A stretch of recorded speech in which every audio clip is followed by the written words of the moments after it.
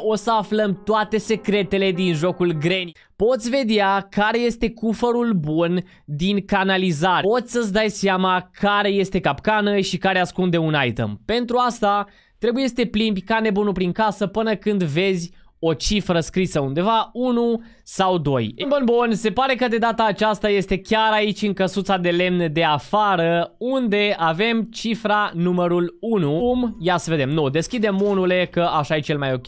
Deci, am văzut uh, cifra 1, asta înseamnă că dacă deschidem cufărul numărul 1, găsim itemul.